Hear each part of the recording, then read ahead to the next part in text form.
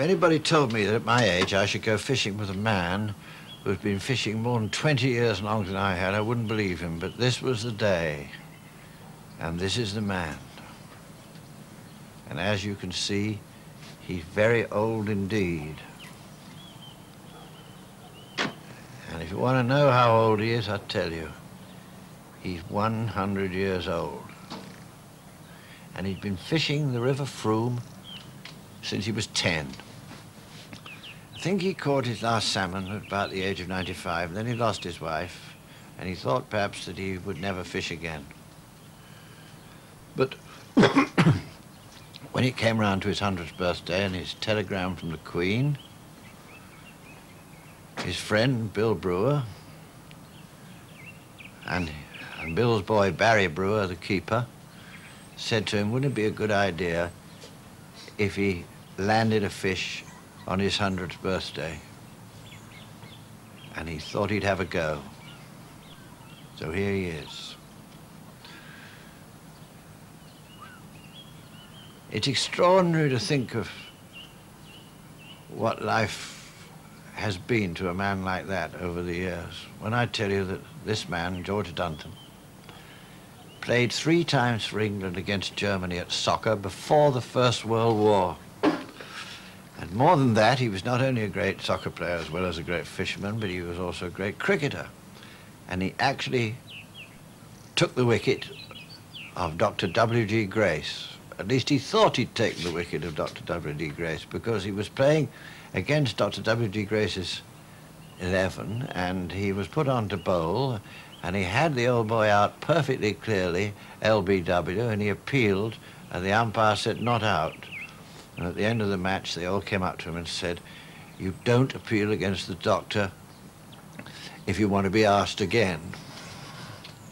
And indeed, more than that, the man with whom he opened the batting against W. G. Grace's 11 because George was a batsman as well as a bowler, was called Jack Hobbs. And now, unexpectedly, I think, he's getting out the fishing tackle that he'd put away, and it's beautiful old tackle. It's very old-fashioned by modern standards, but it's superb, handmade Hardy's fly rod of the old sort. And a very heavy rod, incidentally. And this is his other friend, Chris Dyer, and we brought Chris along because we thought he must get tired. None of us can imagine what it's like to be a hundred years old.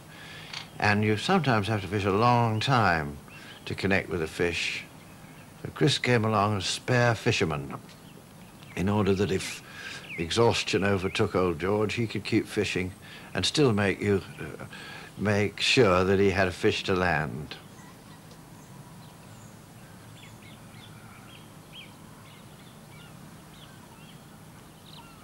And we stood there, all of us, and watched with astonishment that he could still tie knots in gut at the age of, uh, or nylon as it now is, still tied knots in nylon at the age of a hundred without glasses.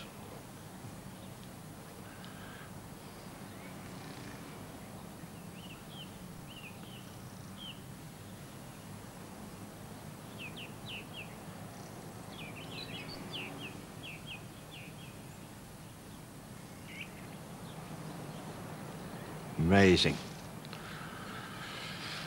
I wish I had eyes like that now.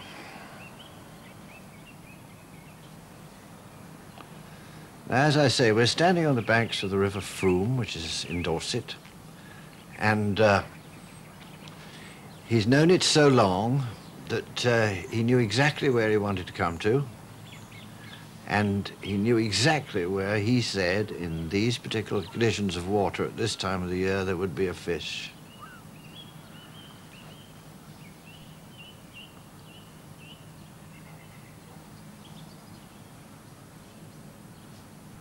And he also tied the fly on without the faintest difficulty.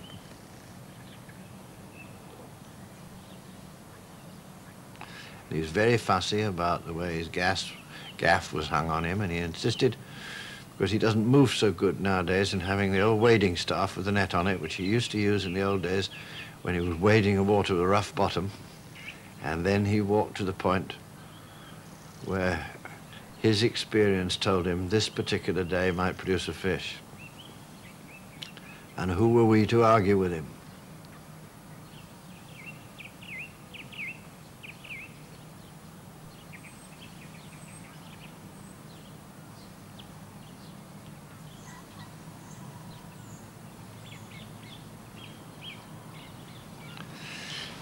Now, using tackle of that sort is quite heavy work.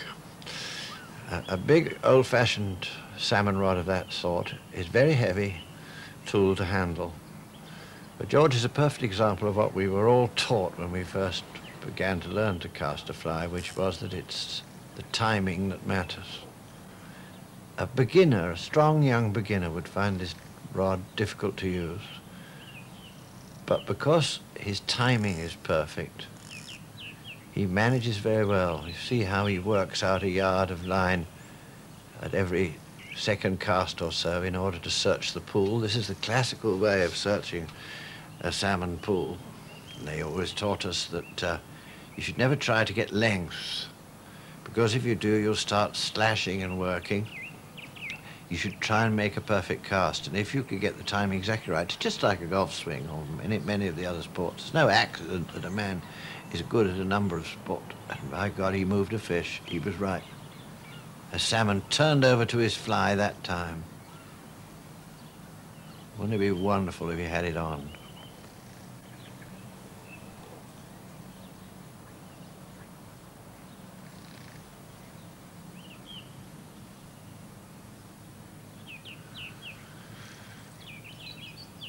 And look at those.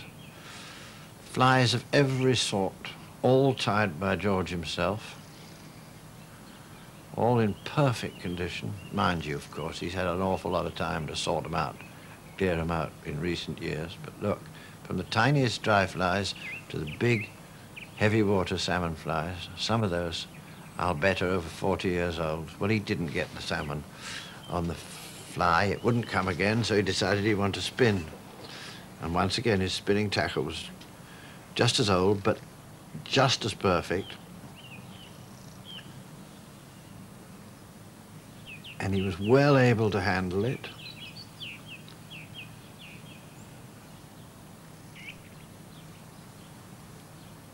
I knew there was at least one fish in that pool because we'd seen him bring it up, turn it over at the fly, and he was determined to get it if he could, and he did in fact move it again.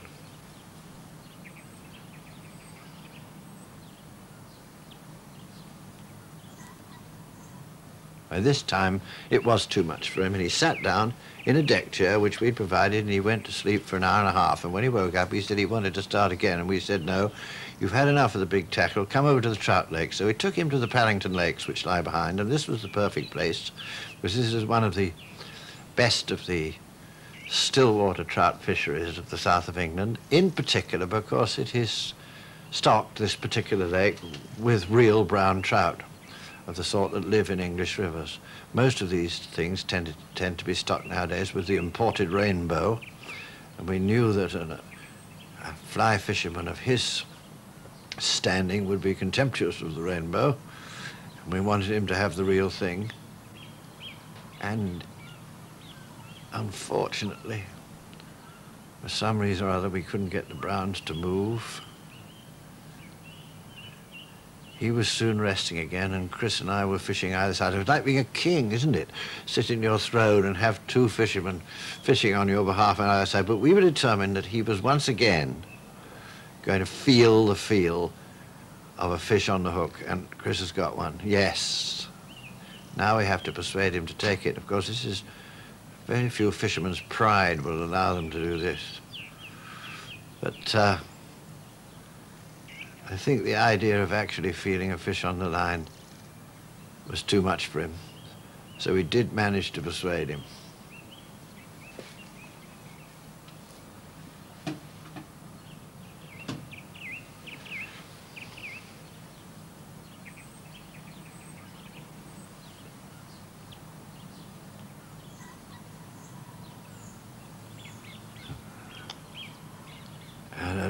Look of dreadful joy came on his face as he felt the fish throbbing on the end of the line once more. And he handled it absolutely splendidly. Well, why wouldn't he? He'd had it longer than we have. Wasn't very big, but it was a fish, which means that the first objective of the day was achieved.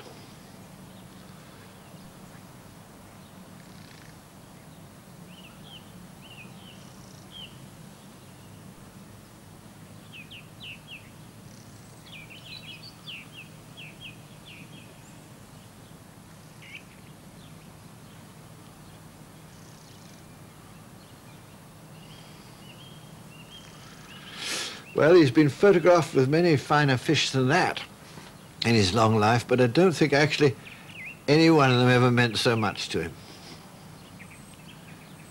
And in the meanwhile, I thought, well, we, we might be able to get him a bigger one. We might be able to get him a bigger one.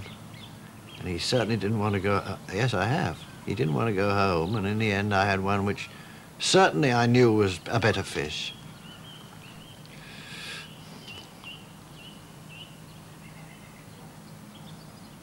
Yes. This one might tax him a bit more, I think.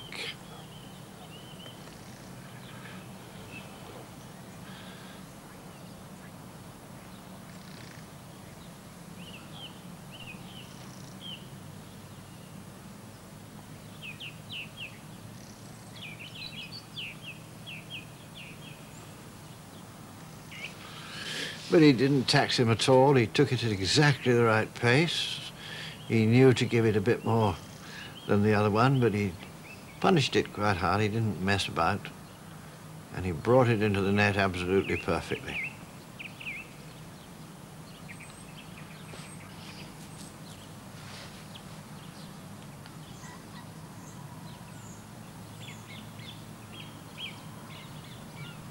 Careful, I don't want to lose it. Shan't lose it. There you are, that's exactly how you should play a fish out and then bring it to the net.